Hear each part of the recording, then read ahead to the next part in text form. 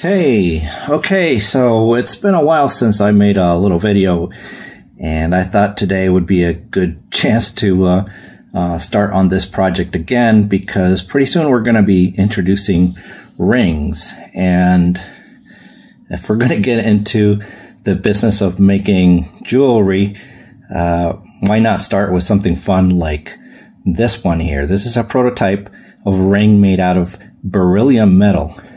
Now, most people have never even heard of this metal.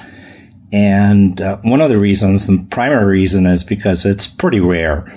Uh, it's not that rare in nature, uh, but it is very rare commercially speaking, uh, because it's very difficult to separate it from its ore. Uh, that being beryl. If you've ever seen emeralds, then you're looking at the excuse me, the ore for beryllium. And that's not exactly abundant.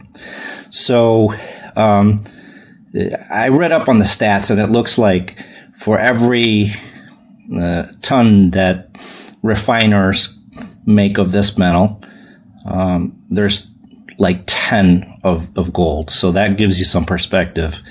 Uh, most of the beryllium that does get mined comes right here from the USA uh, which is, you know, a change of pace. Um, this one, however, was made in China, like everything else, right? Uh, but I believe it's the very first time that there's been a wearable made out of beryllium metal. And I think it would be, uh, it does make for a, a really compelling uh, metal to be made into jewelry because it's rare and valuable. And not just that, it's also uh, very hard. It's as hard as titanium, and yet it's lighter than aluminum.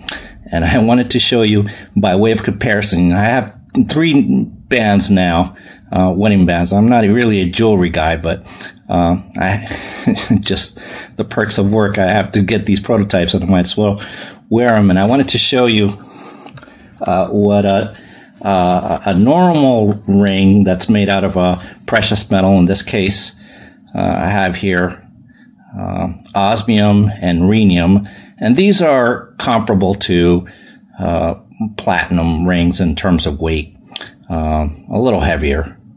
But you can see, you know, that pulls in at almost half an ounce. That's 14 and a half grams.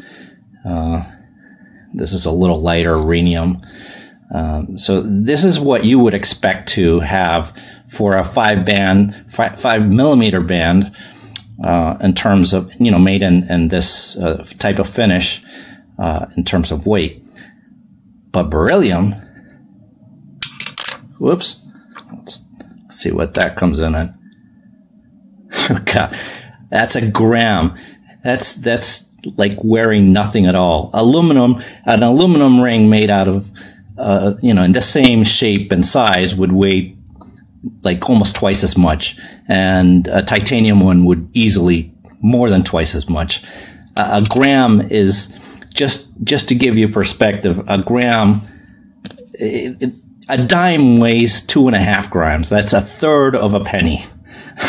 so it, it's it's it's almost unreal at the under at the other end of the scale of what you know something like uh, uh, osmium would be. And I, I know people really want to see a, uh, more on this ring. I'll, I'll, do that next. But for now, uh, I think this this takes the, the, the cake for you know an exotic metal that can be turned into uh, a wedding band.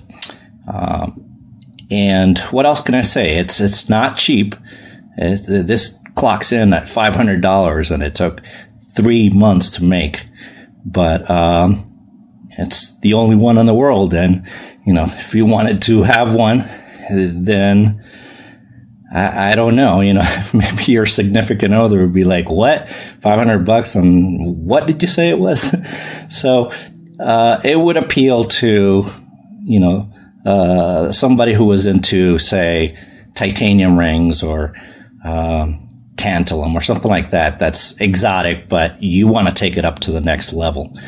Um, that's, I think, you know, a good uh, target demographic for something like this. The, the, lab can make them very, very uh, small amounts. So this isn't going to take the jewelry world by storm or anything like that, but it would be an amazing conversation piece, I think, you know, especially when, when, when you can actually feel it in hand. It's like, I don't know, like there, there's almost you you can sense that if it's on your hands, but it's almost like plastic or something like that.